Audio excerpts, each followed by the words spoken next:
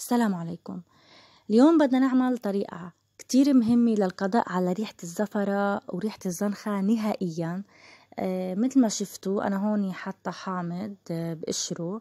عم بفرك كتير منيح آه، الفروج. أول شي لازم نتأكد إنه الفروج منه بايت يعني منه متلج ويكون له فترة عند البياع.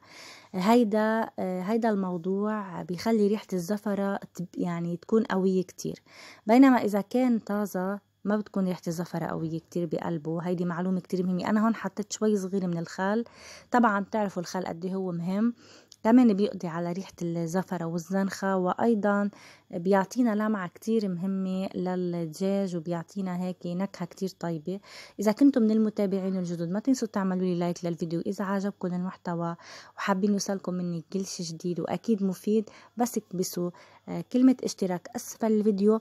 subscribe مع تفعيل الجرس الأحمر. أنا هون رح أحط الطحين يلي هو اللي رح يقضي لي على ريحة الزفرة نهائيا. أنا هيدي الطريقة بستخدمها دايما وقت بدي أعمل ملوخية وقت بدي آه، اشوي دجاج اقلي دجاج. دايما بغسل بغسل دجاج آه، وبفركه قبل التغسيل بالطحين كتير منيح مثل ما شفتوا. ملعقة وحدة أو ملعقة ونص تكفي آه، لحتى تقضي على رائحة الزفرة نهائيا مثل ما شايفين أنا هون فركته كتير منيح. رح نحط شوي كمان من آه، من فوق على الجنب التاني كمان نفركه بهيدا الشكل.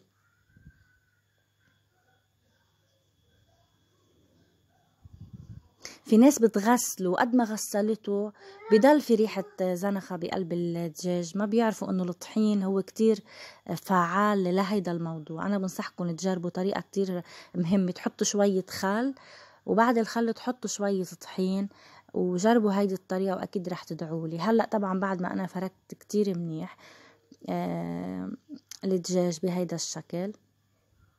أكيد نحن هلأ بدنا نغسله ونشيل كل آه الطحين عنه من جديد.